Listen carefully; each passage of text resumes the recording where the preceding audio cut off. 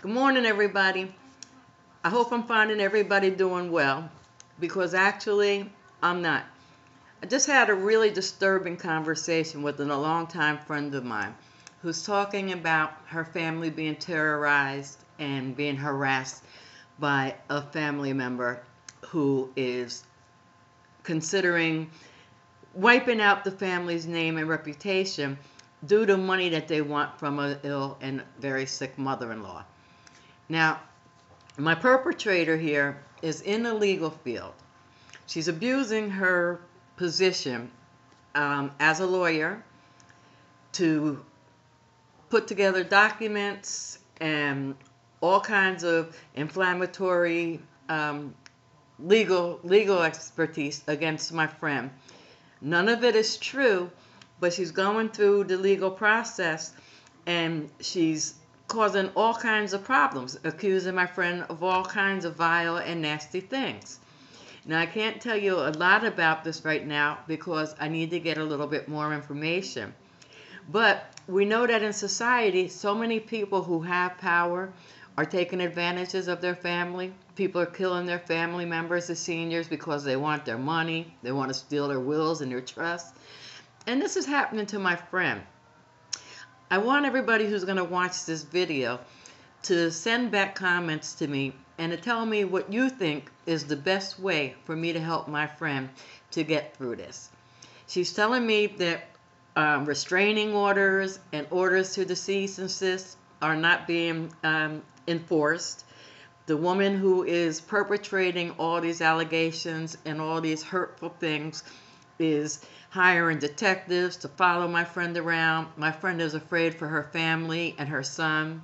She's not comfortable in her house anymore. And this needs to stop. There are too many crazies out here. There are too many crazies out here that are doing things for money. In the last week, I've watched several different shows on TV where somebody has killed their grandparents or their parents, and it's all about the same thing money.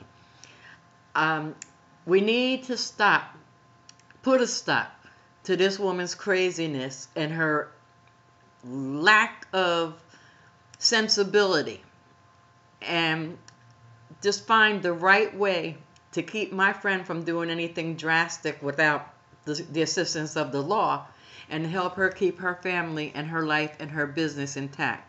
This crazy woman is a lawyer or an ex-lawyer who has been fired and disbarred not happened. She has been fired and she works pro bono now. She only takes cases that she can get through without uh, any money coming through. But she has an inheritance and money from her husband's family, which is why she's doing this terrorism to my friend. My friend is her sister-in-law and the brother of the mother who this woman is trying to rip off. Okay, mother-in-law is very, very sick. There's no telling how long she'll be around. But all of this stress and all this strife through the family cannot make things better and not, not prolong her longevity. I need your advice. My friend needs your help. How do we stop a crazy on the loose? What do we do right now? This is just one story that I'm asking for. What do we do to stop a crazy who is trying to destroy a family because she wants to inherit uh, the mother's trust?